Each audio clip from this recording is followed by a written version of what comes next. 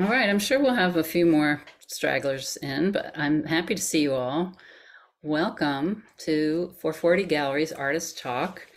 Today, I'm very pleased to have Amanda Michele Brown. Her solo show is called Two Truths and a Lie. And we also have Fragment Fracture, the artwork in the project space with James Acevedo, Leigh Blanchard, and K Sarrantonio. So we're going to take a look at the installation, some of the fun we had installing. And um, I want to remind everyone just to stay muted while we're having the talk and then save your questions for the end because after I'm done asking my questions, then we'll open it to everyone to ask any questions that you like. And at that time, you can either type them in the chat or or you could type them in the chat all along, but then I'll refer them, I'll refer to them in the chat after, or you can just unmute and ask yourself after the formal questions have passed.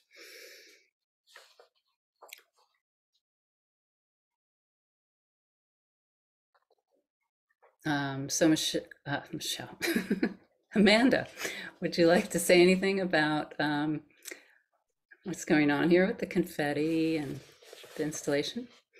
Yeah. Um, I was just looking at those initial installation shots and I was wondering if somehow the pile has gotten bigger instead of smaller over the course of the time it's been open. Maybe it's just gotten more fluffed, but I'm like, it's definitely seems, I'm looking over at it right now. I'm like, it seems bigger.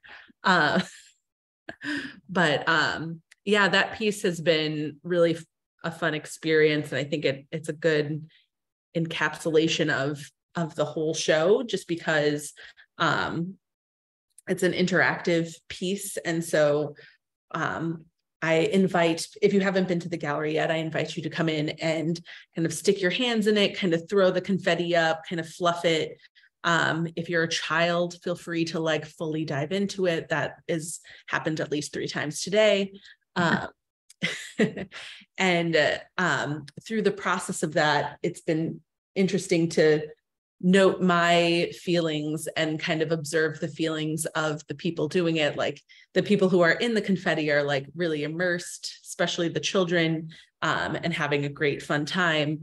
Um, but then knowing as a, the person on the outside and as especially for parents who are watching their children um, make a mess in an art gallery which nobody wants to admit their child is doing um, the the stress that they feel i think it kind of reflects that duality that i'm trying to get across with some of my work that i'm sure our questions later will will touch on. But the the idea of um, trying to uh, having people come in and like mess for lack of a better word mess something up but also for us to then try to like make it back whole again but knowing that each time there's a little less confetti there's probably a little dirt now in there too um, and it, the the piece is forever changed anytime somebody somebody touches it but there's the idea of us wanting that control of us wanting to like push it back up into its like initial form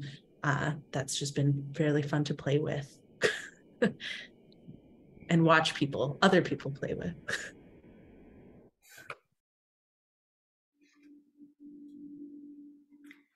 So I do want to say that um, we get to see some uh, lovely digital images of these pieces, and uh, and here we go. This is so these are some of the pieces Amanda chose for our talk today, but it doesn't compare to seeing the work in the gallery. So if you get a chance, please stop by the gallery and see the work in person.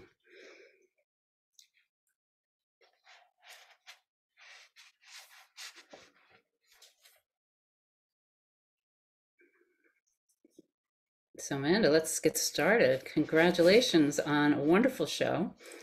Let's begin with your title, Two Truths and a Lie. Can you tell us why you chose this intriguing title? Yeah. So for those of you who don't know what Two Truths and a Lie is, um, it's actually kind of it's a get to know you game that um, I I first played in summer camp, but it's also a favorite of corporate America. If you've ever um, had a job where they're like, let's get to know your teammates. Um, and the the whole premise is you introduce yourself and you present two things about you, like two fun facts that are true and one that is a lie. And then everybody kind of has to guess which one of those is the lie. Um, and I really liked the idea of that because um, number one, it's playful nature, but also the idea that like um, how are we kind of playing that game with ourselves in our in terms of our own personal identities and how we see ourselves like how often do we um have this vision of who we are and then instead of when something contradicts that instead of being like oh maybe that's not exactly who i am or how i respond to things we tend to craft a narrative around it um, or a reason around it that perhaps isn't entirely true. Um, so that's, and not necessarily, I feel like people see lie and see it inherently as negative. Um, I don't see it as that. I feel like a lot of times, at least the lies that we tell ourselves are self preservation.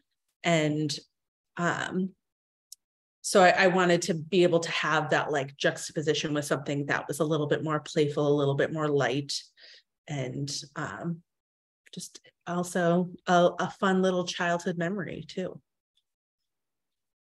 Thank you. Uh, so each piece in this show is fresh and vibrant and unique. I suspect it has to do with your approach to process. Can you talk about how this work is made? Yes. So I um each piece I I go in completely uh completely new without like an idea of what I want to have on there, not even a color palette. And I, the way that, so most of these pieces are primarily watercolor. The way that I use watercolor is by layering over on top of each other. So that requires you to kind of like lay down a pigment, wait until it dries, lay down another pigment, wait till it dries. So it's, it's a very drawn out process, although each of the steps can be relatively quick. Um, and so each time I like reapproach the piece, I'm coming at it um, and responding to the marks that were left before. So whether or not it was um, like just a single color or two colors or a color and some of this like spray paint element, um, I'm I have each of them has a moment or memory in mind that's probably the only thing that like keeps it structured from from step to step and so i i with that in mind i take that and then use that information that like memory and respond to the piece in front of me and so the reason why i enjoy this process is i like to have um i like how it mirrors the way that we reapproach our memories over time um, there's obviously like the way we first experience something, which is like the objective truth. But then as years pass, as we uh, think back on it, we it gets colored a little bit different, it, whether it's like sometimes it's nostalgia or um, we actually realize something was like a sad moment rather than a happy one. Um, each each time we reapproach that memory, it can have a different feeling um, attached to it. And so reapproaching it, the piece itself each time, um, I think really helps make sure that it's it's grounded in that initial memory, but it feels fresh each time. Um, and then the like detail elements, kind of what I was talking about with the confetti, that's the the control, the trying to like bring some sort of personal narrative to each um each piece trying to find that like structure in what is probably just a bunch of random things that happen to you thank you that's um that that gives another layer of something to think about that you had to wait for each layer when it looks very spontaneous and free uh, until you get to the geometric piece that you didn't mention the medium for that can you talk about the geometric parts? Yeah, so those are um, done in Posca pens. And um, all done by hand. So um, it's usually typically the last thing I do on the piece. And um, it's actually a very like, no matter how like chaotic the rest of the piece is, it's actually usually a relatively calming meditative process. Um, and it's it's like a good way like a moment to synthesize what the rest of the piece is and a, a chance to respond to the piece as a whole. So again, I don't have like an idea necessarily of where things are going to go and how big the the shape is going to be, um, the like detailed shape, but it kind of forms itself as I'm going through making those like tiny little marks. Yeah, I like how the marks are opaque, but then the shape that they form is transparent. So it's kind of mimicking the watercolor, but not. so uh, that leads me to my next question. I love the contrast of free flowing paint paired with the structured geometric geometric mark making. Can you speak about your sensibility in general? By this I mean what drew you to this way of working and how do you see it evolving in the future?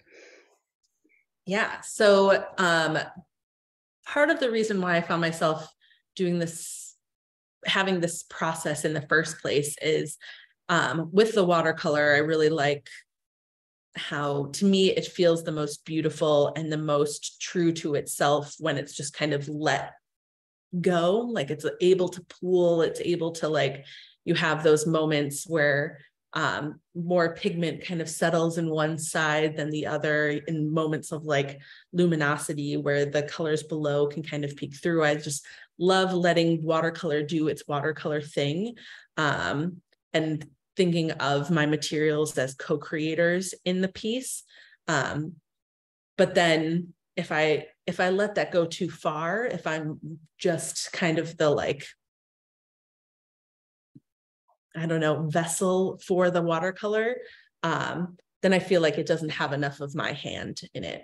And so the, in the same way that the detail element like symbolically represents control, it also within the process represents like control and the artist's hand and making something, um, turning it into something a step beyond what it is. So um, that's kind of why I was drawn to it first. I was like, well, I could just go just make big washes, but it just didn't really feel right with what I with what I wanted to say and with um making art that was truly from me because otherwise it would just feel like it was from the watercolor which would be beautiful but it wouldn't be what it wouldn't be me and it wouldn't be my my language And uh, so, where do you think you're headed next? I love how you. This is kind of your language. That that's a great way to to characterize it. Uh, so, are you going to continue with this language, or is it going to? yeah, I think um, if like if it grew out of another way of working and it's going to continue, or if like you're just going to continue to hone this particular way of doing it? Yeah, I've actually been feeling more like I'm now I'm like trying to stick with the language metaphor and I don't know if I can. but um the, um I can do it. I got it. Okay. So um I feel like I I really obviously still like where these are, but I'm I'm wanting to see if I'm able to speak the same language in a different voice. um, so part of that is seeing how I can bring these pieces off the wall a little bit, and so I've been exploring um, ways of making bringing these concepts to a three dimensional space, whether or not it's the the installation piece like the confetti, or um, I've been learning how uh, glass blowing and potentially um, making pieces that um, represent what I've been working on process wise into glass, which has a very similar luminosity and vibrancy that watercolor has. And, but it's very hard. I will tell you that it's something I've learned. Um, and just finding other ways of um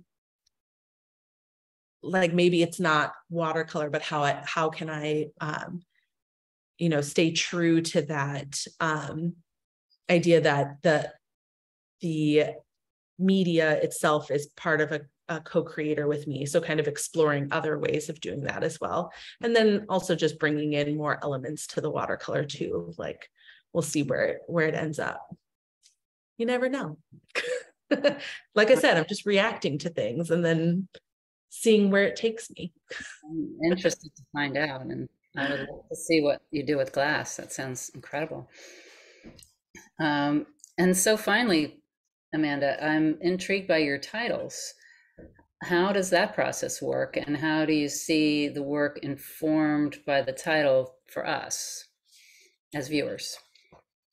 Yeah. So, um, like I mentioned, each of these pieces represents uh, a feeling, a memory, um, incident, uh, experience, all of those things um, that I've had. I can't speak to what other people have experienced. So, but I feel like some of them, the the essence of that experience can be a little bit more universal, and so I don't want to I kind of use the titles to um rather than explain what it is like this one is like joy um instead of being a little bit more prescriptive like that I want to invoke it in a more nuanced way with the viewer and I feel like my titles are how I do that in a subtle way.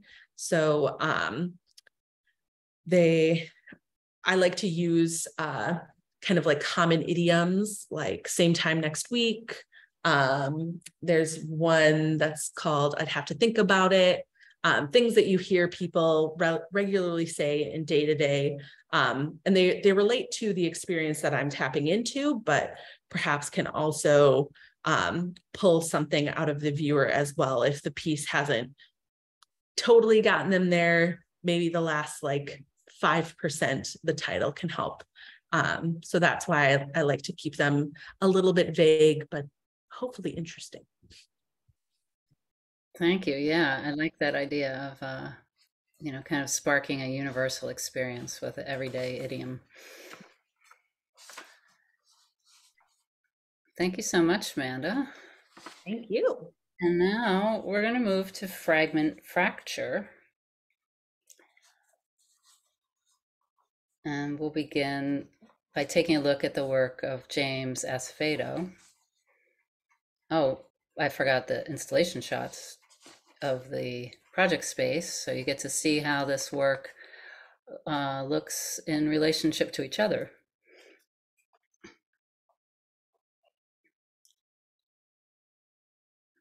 And now we'll look at James's work.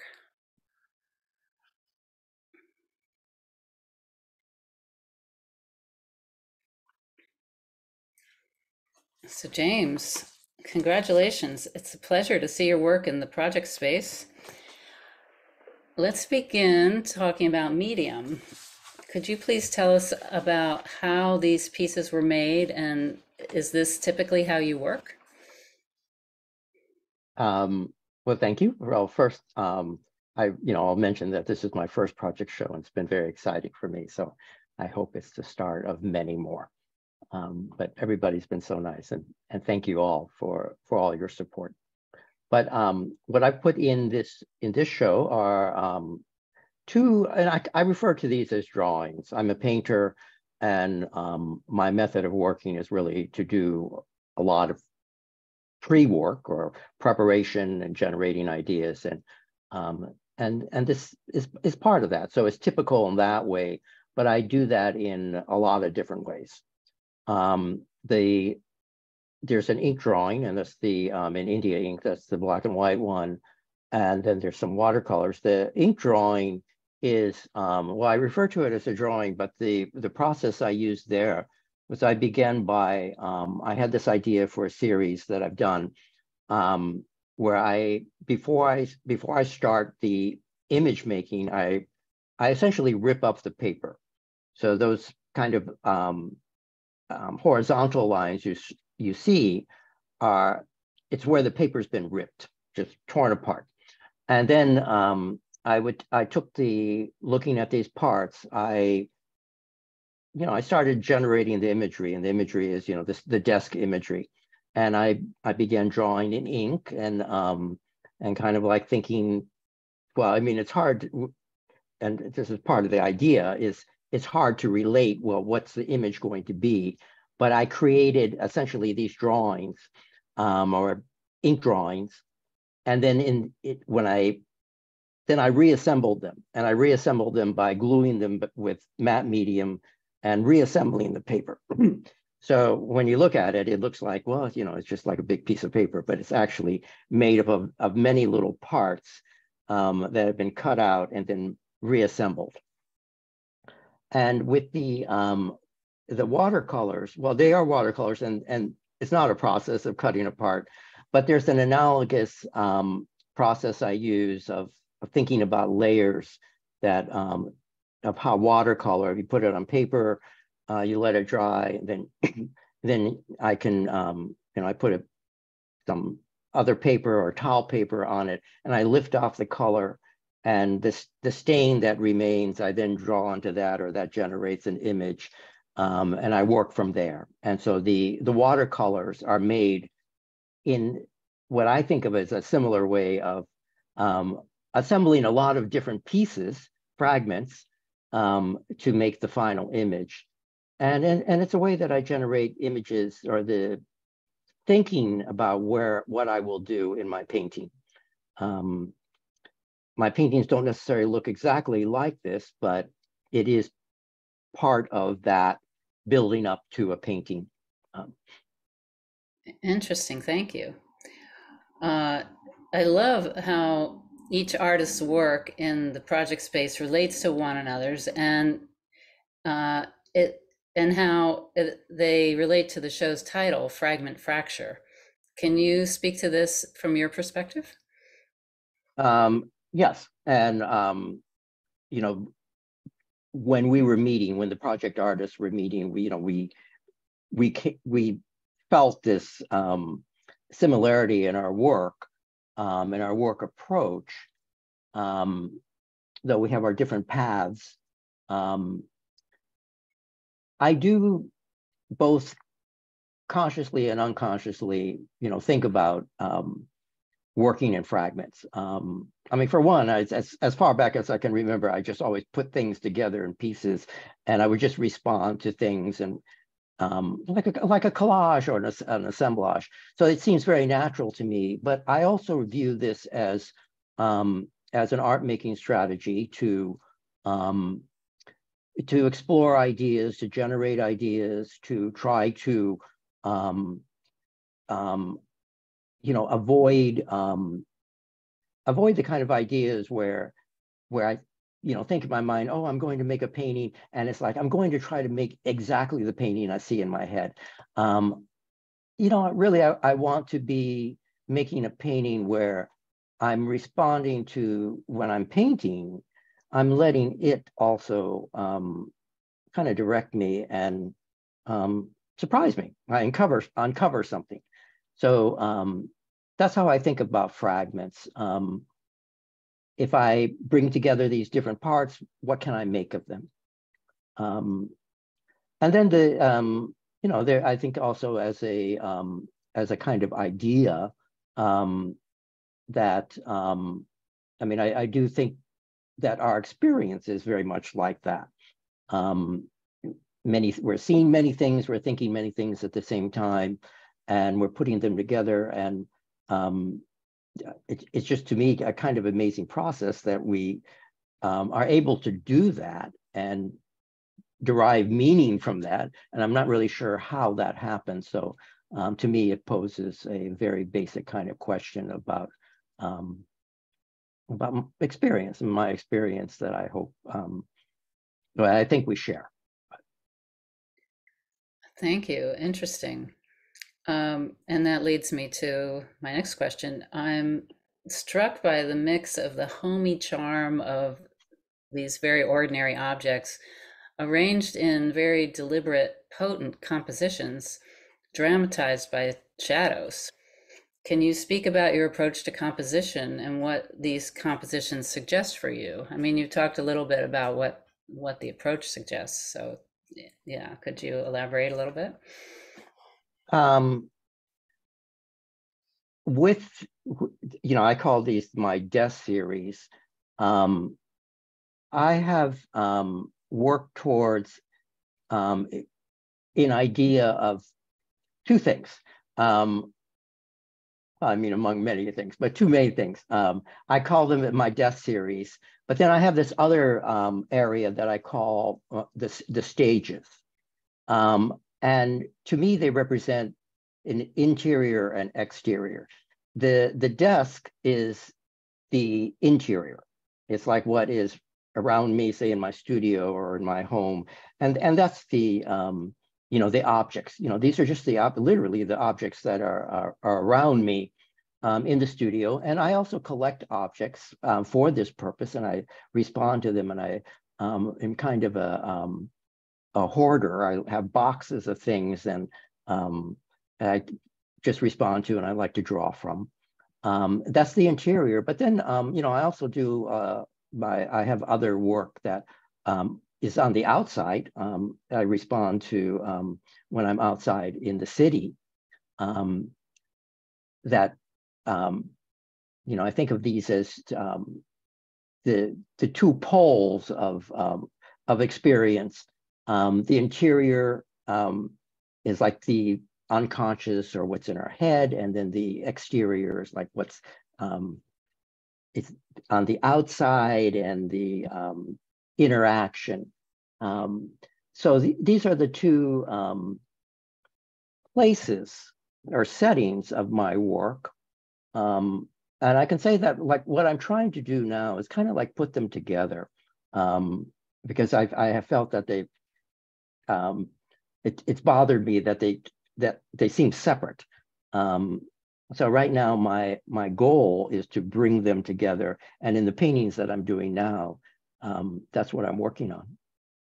Oh, excellent. I was going to say, I feel like you're bringing them together in these.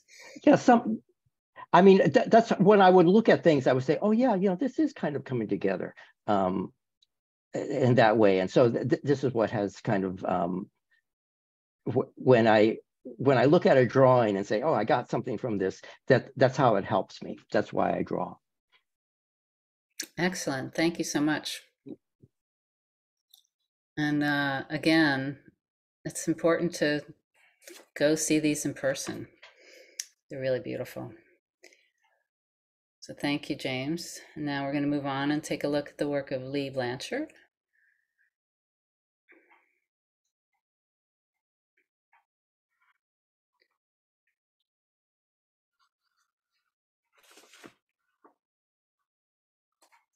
Leigh, congratulations on a beautiful show in the project space.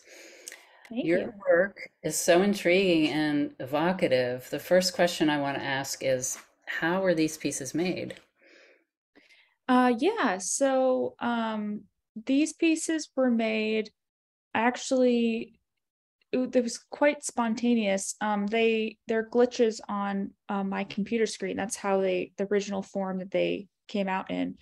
And to be honest, I wasn't even creating art in that moment. So um, I love to invite a little bit of spontaneity in my work, but um, I gotta say this is probably the most spontaneous it's ever been. I was like, oh, okay, that's that's some art right there in front of me.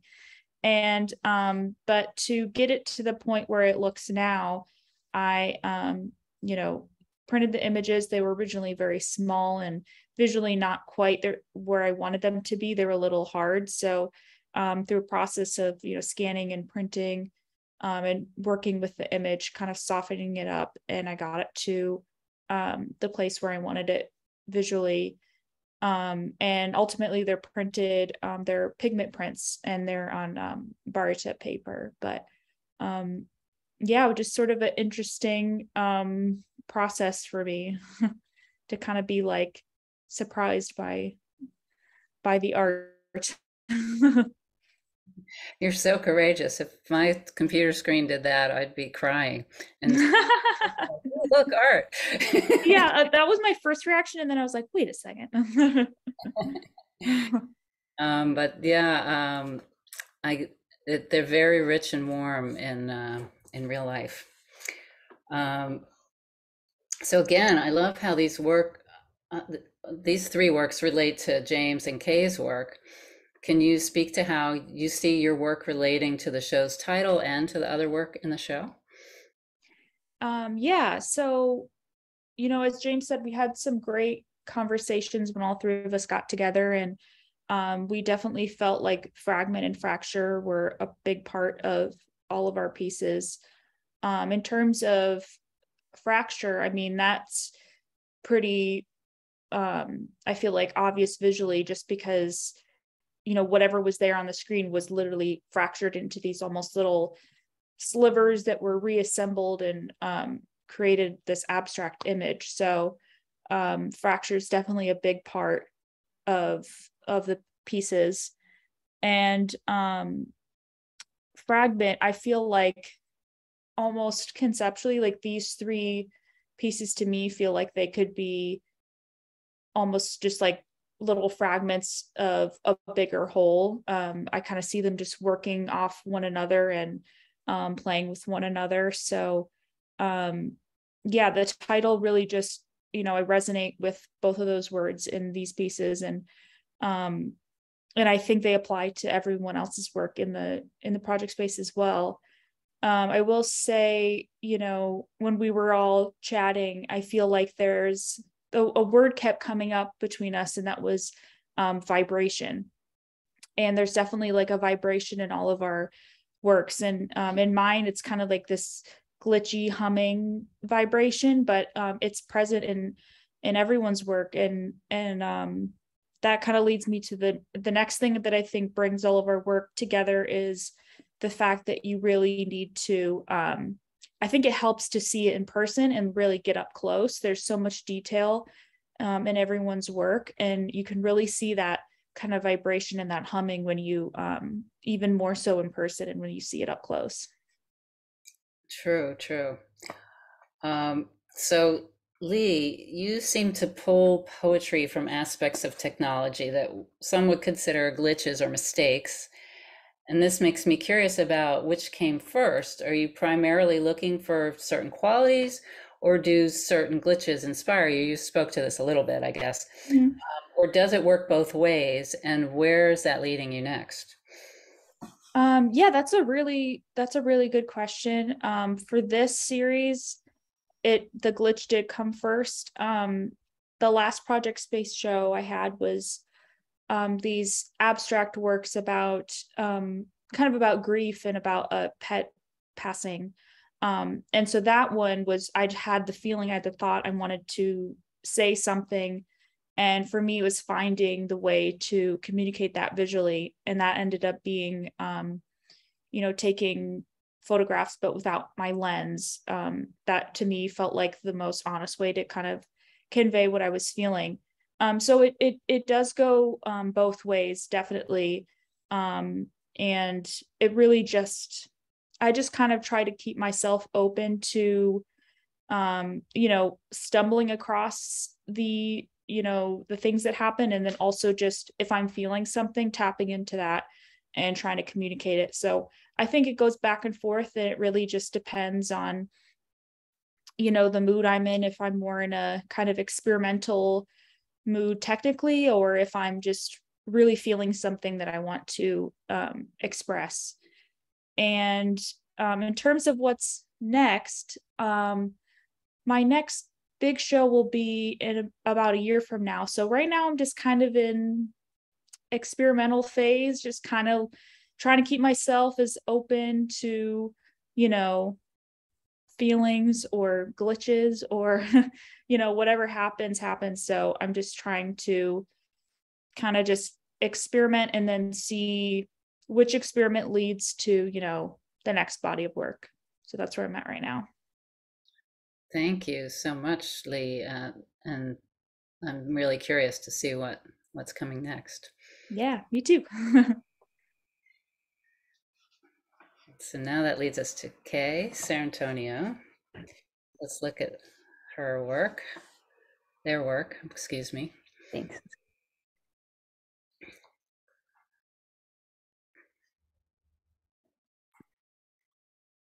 So you could see these are um, many small pieces. So K, congratulations. This is an epic piece in an amazing show. Can you tell us about how this piece came about? How was it made? Thanks. Um, yeah, I've been a um, a printmaker for a long time and have most of that time been working with sort of photo based imagery. And uh, for this piece, I um, was drawing on like sort of personal family archive. Initially, I really took photos with the intention of making them into prints or I even staged photos with the figure for prints. Um, and these days, I'm I'm just sort of mining what is already um, existing in um, our like personal family collection, which has been a really cool new experience for me to work that way. Uh, so this is a screen print on tile. So it's a photo screen print. So I start with the photograph and add a, in order to get gradation with um, screen printing, there has to be a dot pattern or some sort of um, series of small uh, shapes that make up the different tones. So I use Photoshop to add a half tone to this. And this was, I started working recently with larger half tone dots. Initially, I had been sort of trained with like formal printmaking training to make that process look invisible or to make it disappear as much as possible. And more recently, I'm interested in um, really making that visible. So I think if you can see the, the dots um, that make up the image in the closer ones. Uh, and then, so then I transferred the image um, onto a transparent sheet. I coat a screen with a photo emulsion, which is sort of like a glue and that is photosensitive. And I put it on a light table. I expose that transparency to the screen, wash it, and the water washes away the areas where the image was not exposed. And that creates a stencil. So screen printing is a stencil based process, and I'm sort of combining photography um, and stencil in this way. I then lay the tiles underneath the screens, pour ink onto the screen, and ink that I like mixed especially for this process. And I, with this piece, I used a bisque tile. Um, it, it's not, it's only been fired once. I didn't make the tiles myself, um, and it was not fired again. So I used just a screen printing ink that's sort of an all surface ink uh, and printed the tiles individually, labeled them in the back as a grid, and then eventually put the image back together in pieces. So it was um, one image that I split into many, many pieces, put those pieces back together in many transparencies, created many screens, and then printed the screens individually, individual tiles, and then um, assembled the piece, sort of like a puzzle with with rules at the end. Ooh. it's processy, yeah. Sorry, I hope that wasn't. No, that's, uh, uh, exactly what I was asking because um, it gives us a sense of the process that you went through to to achieve this, and um, I feel like that's in the work also, so it's part of it. Um, you can Thank- see the like how the ink moves, like especially on these edges where there are sort of imperfections that that I think changes it from like just the digital image to showing the hand in it in some ways. Absolutely. Yeah. Um, so all three artists' work is very different in this show, but each artist seems to pivot around again the title fragment fracture. So how is uh how do you see this fitting in with fragment fracture? Um, well, yeah, I actually have like some notes from our meeting as a group, and um, I know Leigh just like touched really well on some of the words that came up, and I was just gonna like add some of them, which were in addition to like vibration and sound, that like were things that kept coming up. Reverberation and preservation was were things that came up as well. And I think we also spoke as a group about some of the formal aspects, like all of us were using, at least in some of the work, monochrome and line and some grid work. Um, and we were interested in like the areas of emptiness or lack in between spaces. Um, I think that kind of comes through in all of our work too, at like the seams in some ways. Um, and yeah, we we're all sort of talking about how we translate our personal experiences into the work and that a lot of it is like both controlled and emotive at the same time. Uh, so yeah, and the combinations of fluidity and rigidity is on my notes too. For my work for this one, I think there's really a very literal fragmentation of, of the image and fracture of the image in that way also. And maybe like a more of a reference to the intensity of like the fracture in the experience of birth itself, I think would like also be like where I would push that a little bit. Mhm. Yeah. So that leads me to my next question. There are layers of meaning and message in this striking piece, and I wanted to give you a chance to speak about what this image and its fragmented presentation means to you and what you want the viewer to take away from it. Yeah, I mean, I'm so curious what how it's perceived because when it, it's such a personal piece for me, I obviously have such a specific um, you know experience of it. So I, I, it's i am so i'm not really sure um, what i would expect the viewer to take. And i think it would maybe depend on on the viewer what what i would expect them to take what i would hope them to, to see and um, you know what they would see. Um, but i took a few notes about this too. I think so I'm, I'm interested in the space between image and object as like a printmaker especially when print work is often very 2d i'm like thinking about the tile as having like a weightiness and a thickness and about occupying that space between two and three dimensional. Um, and I think because my work is so heavily based around my thinking around gender, it's like maybe obvious that I'm uh, really interested in those like in between spaces or like category, like things that that occupy like no category or multiple categories. So I think that's sort of where I'm like formally thinking about like the use of that um, more than two dimensional object with the tile.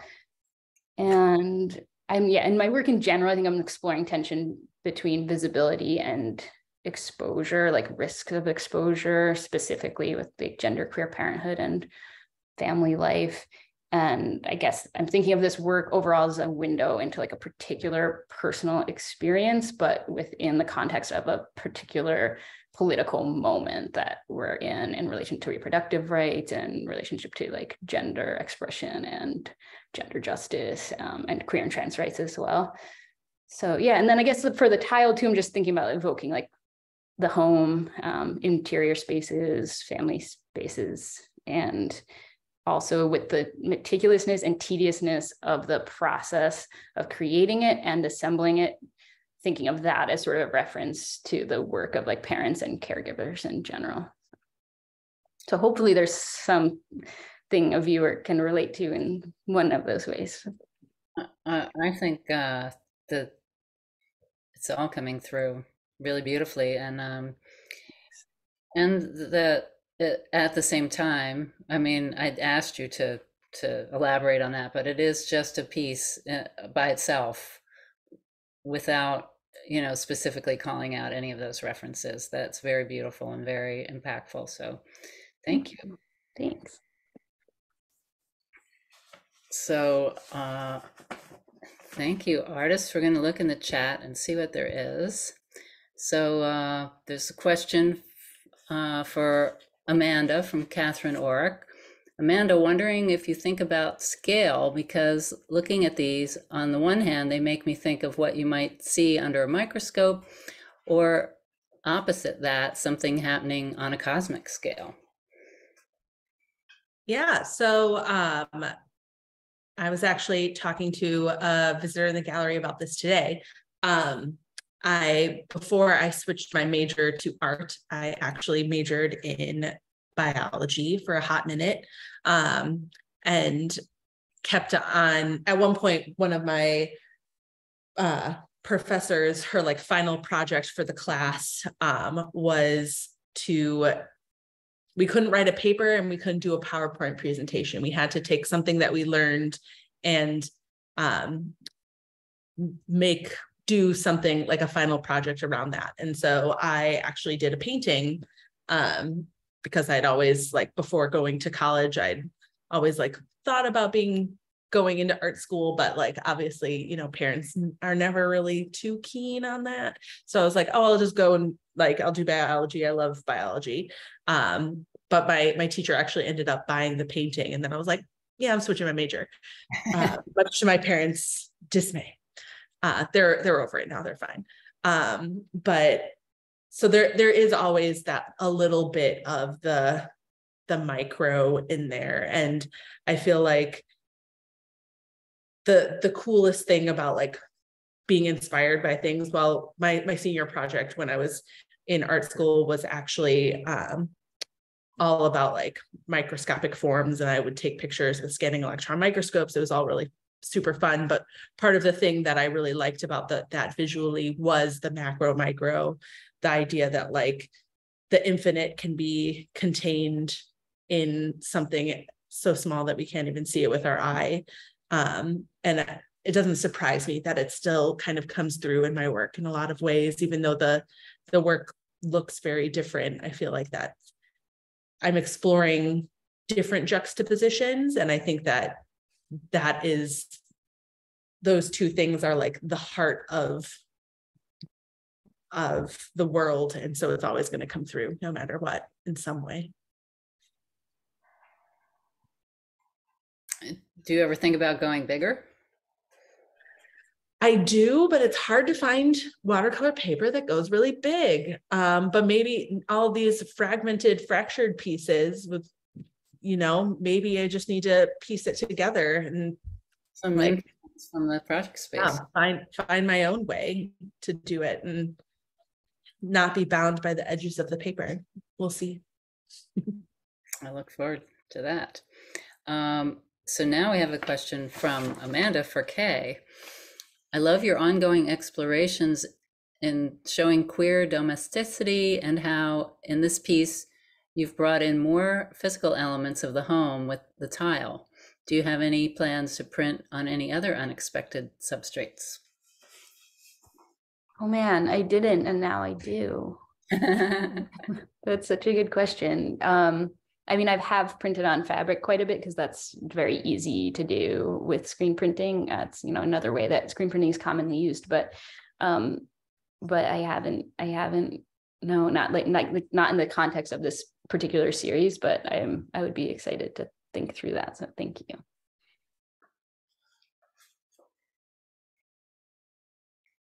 Uh, and so that's all that's in the chat. So I open it to the group. Who has questions for our artists? I see Leigh's hand. Yeah, um, I had a question um, for Amanda. So I knew that your work dealt with memory, um, and I, but I didn't know that you had like so much time between the watercolor, like each layer, and I just thought that was really interesting. I feel like it adds to um, the whole concept of memory. And I was wondering, like, do you focus on one memory between each layer and um and so does that kind of like change each time you like re reapproach the piece um so each piece is a single i approach it with a single memory in mind and that's kind of the like through line for all of them um but how I'm thinking about that memory may change um, depending on the day or what else has happened since then. Um, I mean, usually, like, it can, the difference between each layer can be anywhere from like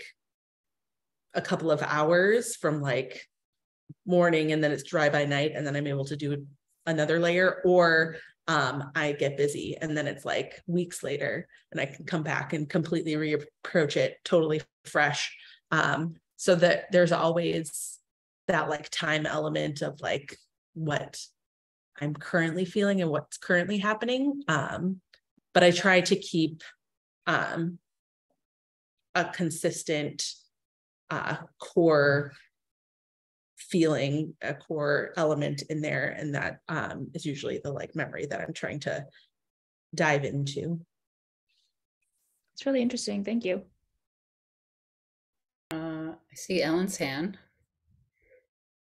Well at the risk of being long-winded I, I have a lot of for all the artists first of all amanda it's so interesting to hear your process because these seem so fresh and the idea that you wait, you know, a day or weeks to go back to it is kind of mind boggling. But Uh, also, I noticed that there are um, some before you put the first wash on, sometimes there are other little marks that are underneath. And as someone who doesn't work with watercolor, but I can see it's just interesting, like those little marks go down and then you come back later to put the first wash on. I'm just very curious. I mean, it's, it's, um, I mean, layers, it's wonderful the way the, the solo show and the project space really come together in that way, even though the work is very different, because yours seems so immediately spontaneous and yet not, is what you're telling me. Yes. it is. and this is So are you thinking of when you say the initial mark, purple- the purple ones? purple Yeah. Thingies are, So- they're underneath everything. Um, in that case, I think it is. Um, so that's an acrylic and water mixture that I put Okay. into like a little spritzer that never makes the same shape twice because Okay. it always dries and cakes up and then I'm like, ah, where did that it does whatever it wants. Um, so sometimes I'll do that. That'll be like the first mark I make, but sometimes it'll be in the middle or later on. Um, and I really like how it, the watercolor doesn't like the way that it layers on top of watercolor lays layers on top of watercolor is different than how it will layer on top of acrylic. Um, especially like a watered down one, it has a little bit more of that like acrylic shine that can come through. Um, so yeah, it's it's not always like this is step one, this is step two, but um it does have a different give a different vibe, I would say. Yeah, I'm just gonna look at them very differently now, knowing that there are these spaces in between each layer, these, these- the, the temporal space, if you will. So, I mean, I, all of this work ma- makes me feel personally like a complete Luddite. But I didn't want to go um, move on to the project space, if it's okay for me to. James, what you were talking about with your watercolor, I, it's like, I need you to say that again. I, how you, how you put these together. You said that they, that you used paper to, this one I understand, you know, now, I mean, I I got that, but I'm just very curious about how you said that you would use blotting paper? Or did I completely misunderstand you? I mean, the Uh, way these are constructed, It is blotted, but I actually just use Bounty. oh, okay. Okay, Um, so you didn't create. I could use another- blotting paper. I You could use you, blotting. you paper. didn't create another piece through the blotting. That's where I got confused. But I mean, just the, the, the sheer, and of course, I have to say to everybody, like, because I had the pleasure of interviewing James when he was uh, interested in joining the gallery. I've seen the breadth of his work, which is really mind boggling. Um, so this is just a little corner of what he does, but um, his um, his your precision is quite extraordinary, and and um, and yet there's a there's a, there's a, a looseness and a tightness to this at the same time that's really very exciting. So The precision is all an illusion. okay. Um, Well, but it it really is, you know, it's it's impressive. That's all I can say. It really is impressive. And um and and I just, I mean, just to not take up too much time, then going on to Leigh and her mind-boggling, like Karen said, if that happened on my computer, I would just weep. Whereas she has created art with it um, in a way that is, you know, uh, impossible for me really to understand, and yet I'm able to appreciate it very much. And her method of printmaking, and then K's method of printmaking. And K, I have a lot to say about your piece, as you can imagine. um, having been, you know, pregnancy having been so much part of my life. First of all, it's such a beautiful, beautiful photo. So it has all of that. And it's so dramatic. And it's, and um, and I wondered, I mean, the tiles create a grid, and the grid creates an illusion of a barred window. To me. And so I think there's, I don't, I don't know, K, if there's, I mean, it's like what you were talking about in terms of gender identity and people's expectations and what um, what is considered acceptable and what's not acceptable. Am I reading too much into this? No, I think I think I used that um, element to like create some distance, a little bit of space that feels like a little like self-protective. I think I think that is intentional. That there's a little bit of um, I like something separating, whether that's you know um, a physical barrier or not a reference to a physical barrier. Feels more than self-protective. It feels um, political in some way um, at least for me. Uh, and uh, and it's it's very powerful. I mean, this photo that otherwise is just like you know butterflies and and crystals, you know, has now been created to have a very very different kind of meaning. So I I just find all of this. I saw it for the first time yesterday you know, came back from my trip and I was in the gallery, and uh, it was just really exciting to be sitting with all of this work. And I apologize, Amanda, because I didn't understand about the confetti and a woman came in right at the end and needed to put her hands in the confetti. And i was like excuse me did you lose something? I'm like why are you messing with this confetti? I didn't say that but um, and then it was only later that I saw the sign that said "Please touch," and I thought, "Oh, no." But she said I had a very hard day. I needed to come in and play with it. that was fine, but uh, that was my, that was my that was my bad. But yeah, you didn't get the the official blurb. I didn't get the official blurb, right? Or I didn't intend to do it. So uh, I just have to say, as somebody who experienced the work in person for the first time yesterday, that yes, not like this. I didn't experience that.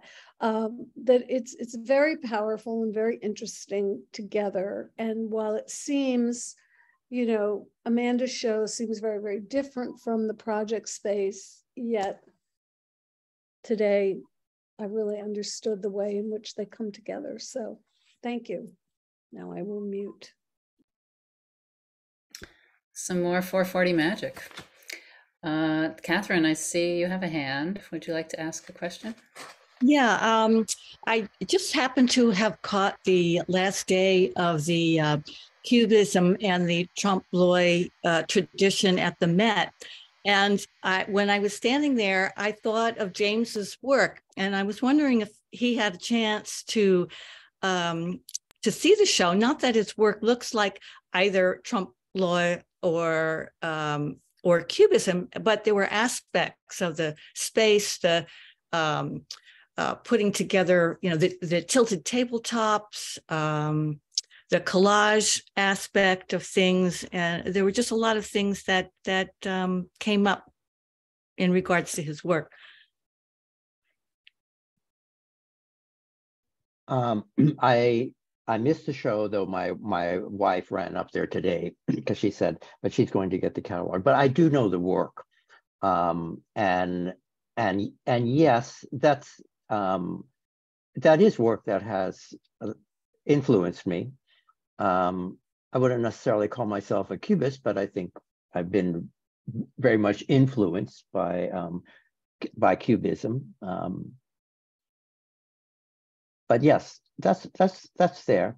Yeah. Um, well, I just happened to think, you know, I was standing there today and I thought, well, we're going to be talking about yeah. James's work today, and they're just like, you know, the the attention to the shadows. Like shadows were a very big deal. Um, yes um, yeah, not that it looks like either of those things, but it was just, but there are some ideas behind it that that sort of came to the fore. Yeah, and also the um, you know the uh, American painters that were uh, you know those trompe l'oeil paintings from mm-hmm. the 19th century that that that type of work um, And, Yeah, and well, I'm I a- like- I- I'm a Juan Gris fan. I love. Oh, Juan uh, yes, yeah, there were some beautiful pieces and Yes. what was nice um, was there were, of course, things that, um, you know, I, you see what's here in, in New York, but there were pieces from, you know, Paris and, Yes. uh, and, um, but I, but I also want to say your water, I, I'm not, you know, the trompe l'oeil, I'm not that interested in. Yours are so much more beautiful than, um, you know, for me than those pieces. I like the delicacy and the transparency of um, your watercolors. Beautiful. Well, I'm sorry I missed the show, but um, we're going to get the catalog. My wife will show.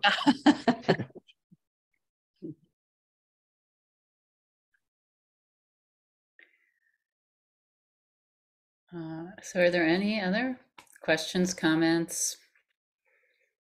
Anything to say?